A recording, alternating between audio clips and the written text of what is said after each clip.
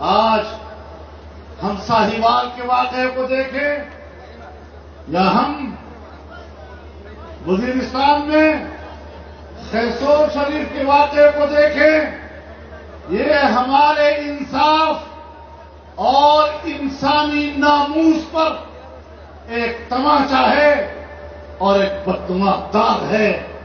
ہمارے حکمران کس طرح یہ داغ دھوئیں گے؟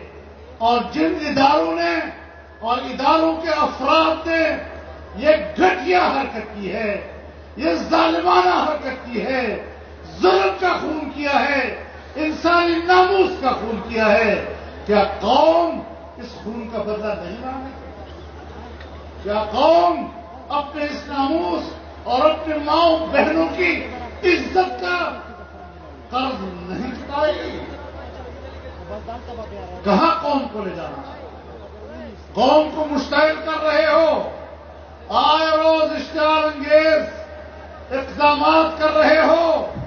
اس قوم نے بہت کچھ برداشت کیا ہے۔ آپ کے آپریشن ہوئے ہیں۔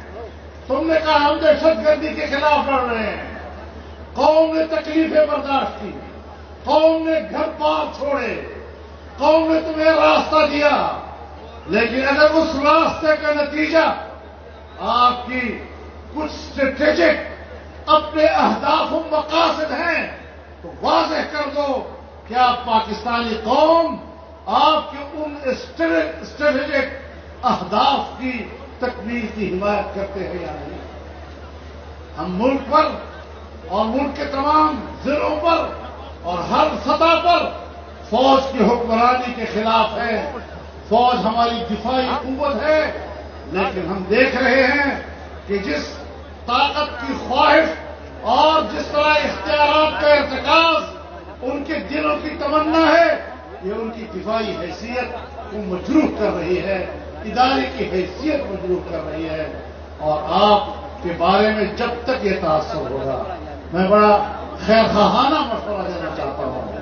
جب تک آپ کا ذہن یہ ہوگا کہ آپ عمران خان کے پشپنا ہے ایک دن گزرے گا، ہر دن آپ کی عزت پر حرف آئے گا، آپ کے وقار پر حرف آئے گا، آپ سے لوگ شاکی ہوں گے، آپ کو لوگ اس کا ذمہ دار قرار دیں گے۔ لہذا اس بدنام زمانہ حکومت کی پشپرائی اب ختم کر دو، یہ پاکستان کی حکومت نہیں ہے۔ ہم اس کو ایک غیر ملک کی حکومت تصور کرتے ہیں۔ ہم پاکستان میں کسی غیر ملکی ایجنٹ کی حکومت برداشت نہیں کر سکتے اس کے خلاف ہمارا جواب جاری۔